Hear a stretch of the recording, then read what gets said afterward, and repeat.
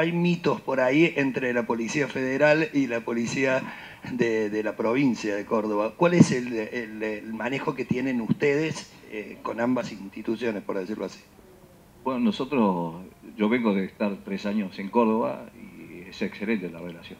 Constantemente estamos en contacto y trabajamos en forma conjunta. O ellos nos apoyan, o apoyamos nosotros, o, en muchas oportunidades hacemos investigaciones y llegamos a los allanamientos y al secuestro y detención de personas que han cometido algún tipo de ilícito de forma conjunta. Así que la relación es excelente.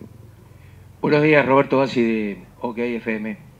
Simplemente preguntarle dentro de la problemática delictiva, ¿cuál es la que más le preocupa? Bueno, sobre todo el narcotráfico, todos los delitos resultantes de narcotráfico, la trata de personas, el tráfico de armas, eh, que son realidades que en estos, eh, estas ciudades no, ocurren, no, ocurren frecuentemente.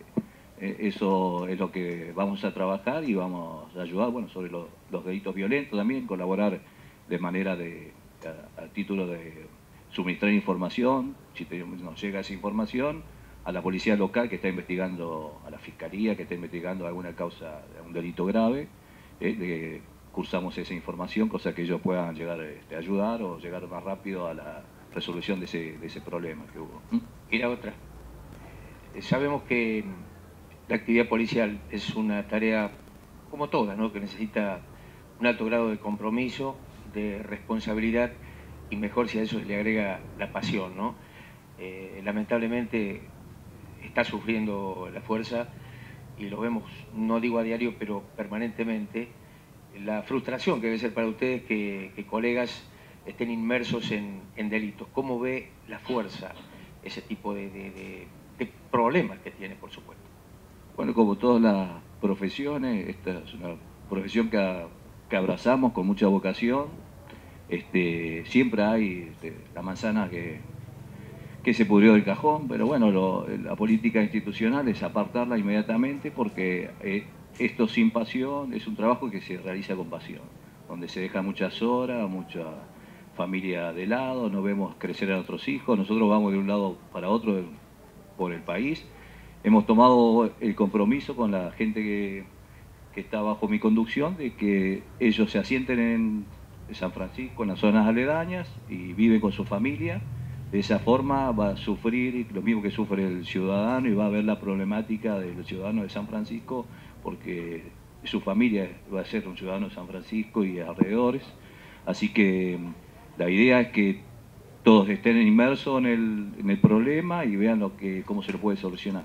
Eso vamos a tener mayor, información porque eso cada, detrás de cada hombre nuestro si bien eh, somos cerca de 100 efectivos, ya hay cerca de 400 federales en la zona porque cada hijo nuestro es un, policía federal más que trae información de la escuela y bueno, y de la problemática de, los alrededores. Entonces, esa es una, es una buena, buena información que la vamos a usar positivamente, ¿no? Eh, una consulta, eh, Federico Ceballos para FM Libre. Usted ha planteado en esta exposición que hizo, muchas veces utilizó el término trabajo. Y hoy Arrocito es anfitrión para recibirlos a ustedes. ¿Cuáles son los pasos a seguir? ¿Cuál es el plan conjunto que tienen entre los intendentes y los presidentes comunales, fundamentalmente buscando eso, un trabajo conjunto?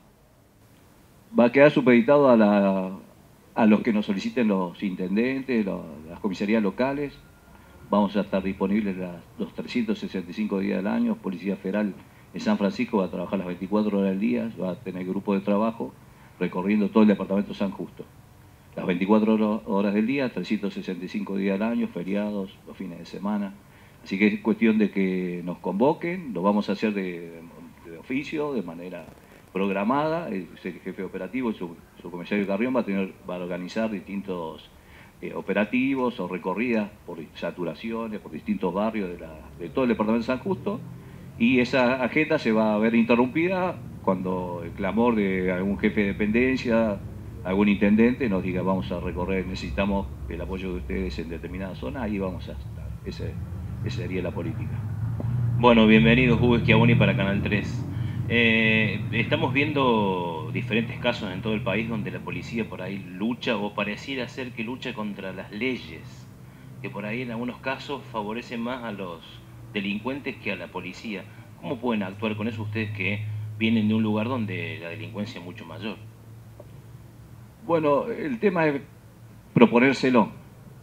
Nosotros entendemos que la seguridad es un problema de todos, no solo de la policía, de, la comisaría local o del juez o el fiscal, sino también de los ciudadanos, el intendente, de las fuerzas vivas. es sumar esfuerzos y pedir ayuda si la necesitamos, cosa de que nos, ayuden a eh, sortear esos inconvenientes, esas trabas burocráticas, este, a veces eh, bien intencionadas, a veces no.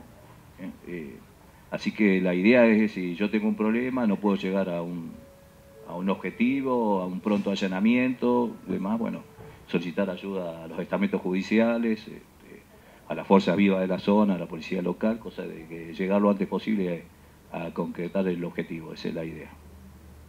Bueno, buenas tardes, bueno, buena mañana, perdón. Eh, Mauricio Ser, Radio Cooperativa. Por, por un lado, ¿cómo ve eh, la estadística que en los últimos 10 años las cárceles han aumentado un 41% en su población? Y por otro lado, ¿cómo, cómo ve el accionar de gendarmería en las grandes ciudades? Hablamos de Buenos Aires, bueno, y sabemos que en las calles de Córdoba están trabajando. Bueno, hay un, observatorio de comportamiento delictual en Córdoba, yo vengo de ahí y, gravita positivamente el trabajo que hace Gendarmería, como la Policía Local, de esos trabajos en conjunto que son el Comando Unificado, que son todas las fuerzas federales. Eh, hay un resultado de la gestión o una medición de esa gestión que se hizo en ese, momento y es, positiva. Ha ido reduciendo. Bueno, las cárceles se van llenando de las poblaciones, bueno, porque también la población aumenta y el delito, bueno, el narcotráfico trae aparejado unos delitos conexos que son, bueno, se aumentan. Y, pero eso a nivel mundial no es una realidad solo de Argentina. ¿Y acá regionalmente? Bueno, acá pasa que la población también ha aumentado considerablemente. Y sí, las cárceles están al tope de su capacidad. Y la cuestión sería, Policía Federal también este, pone a su disposición, a la disposición de la ciudadanía, de hacer este, la parte de docencia sobre la prevención de las adicciones, eh, el cibercrimen, lo que es bullying, grooming, todos esos delitos nuevos o esas modalidades eh, nuevas, y para hacer eh, educación en las escuelas y demás, bueno, este, en la zona también no es ajena a lo que pasa en todo el país.